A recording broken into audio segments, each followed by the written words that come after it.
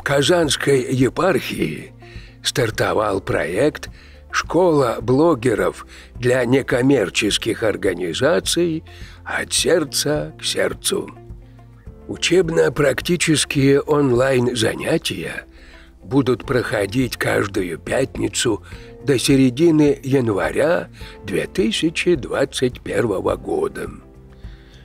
Курсанты-заучники получат свободный доступ к видеолекциям, которые будут размещены на информационных ресурсах партнеров проекта.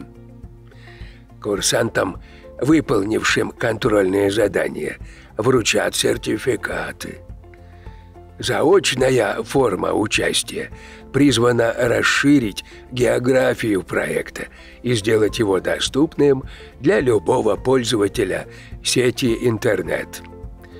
Ознакомиться с подробной программой курса, а также подать дополнительные заявки на участие в заочном этапе школы блогеров можно на сайте Храма Сошествия Святого Духа.